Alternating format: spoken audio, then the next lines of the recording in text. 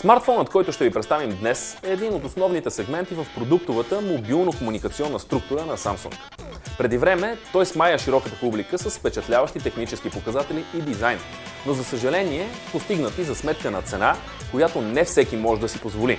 Година по-късно Samsung Galaxy S е съвсем достъпен с цена от около 540 лева, а факта, че се предлага от почти всички магазини и в комплект с абонаментни планове от мобилните оператори е достатъчно красноречив за качествата му. Но нека се концентрираме върху самият смартфон. Той е с класическа форма, овални ъгли, липса на отсечена периферия и преобладаващо гланцирана обработка. Не липсва обаче и урелефяване в задният панел, което от своя страна частично намалява опасността от цапане и надраскване. Друг спомагател за това е дизайнерската извивка в долният край на телефона, която служи и като кръче, когато го поставите на маста. Като габарити смартфона с тегло от 118 грама е висок 122,4 мм при 64,2 мм ширина и дебелина от съвсем скромните 9,9 мм. Ако трябва да го съпоставим по размер, функционалност и ценови диапазон, преките му конкуренти биха били Sony Ericsson Xperia X10 и Evo флагмен серията на HTC. Тук няма да правим сравнителен тест, затова ще спрем вниманието си на всичко, което ни прави впечатление в Samsung Galaxy S. Дисплеят на телефона е капацитивен Super AMOLED с диагонал от 4 инча. Неговата максимална разделителна способност е 480 към 800 пиксела.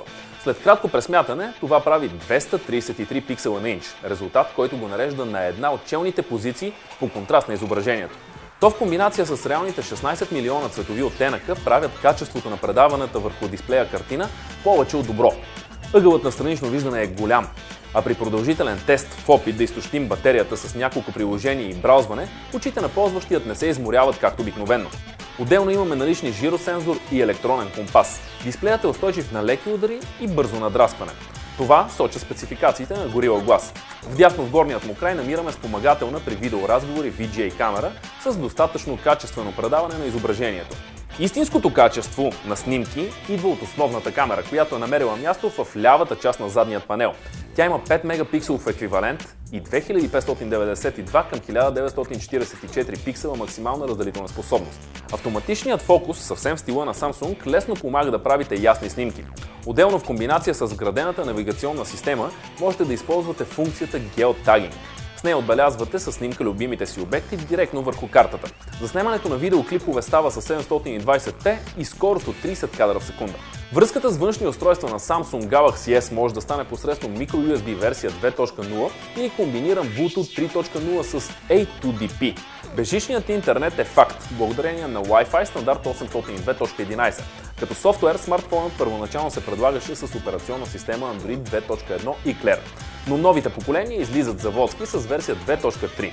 Процесорът на телефона е Cortex A8, работещ на 1 ГГц, а за графическата част се бори PowerVR SGX 540. Оперативната памет е 512 МБ RAM и 2 ГБ ROM.